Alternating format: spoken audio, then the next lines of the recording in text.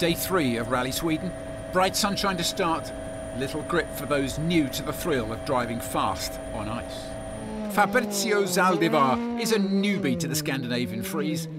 It's also been the 22 year old's season's debut. And in stage nine, at the last corner, the ice got him. He lost over half a minute there.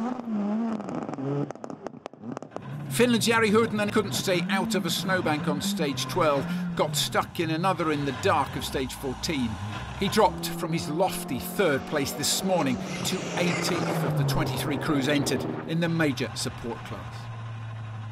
By contrast, Oliver Solberg's driving hasn't missed a beat. He notched up four more stage wins on Saturday and is on course to give Sweden the party and celebration it would like after hosting such a thrilling event. In second place, Ole Christian Veiby, who won stages 10 and 11 this morning. The Norwegian took second place in the class off Finland's Sami Pajari in stage 9 and has been unshakable in the runners-up spot all day. Finland's Pajari is in third. Not bad considering he dropped 40 seconds when he span after losing the rear end of his Fabia R2 in stage 10. His haul back into contention was helped by Huttunen's nightmare day.